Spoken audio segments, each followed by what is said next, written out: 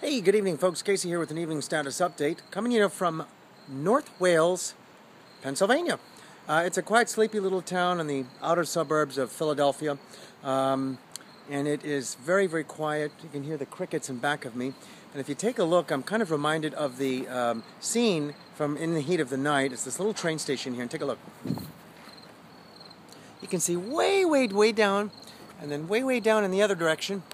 And um, you know that scene where was Rod Steiger was trying to convince Sidney Poitier to come back and solve the murder, and they get into this heated discussion. He says, "Well, where do they call you up there in Boston?" And he says, "They call me Mister Tibbs."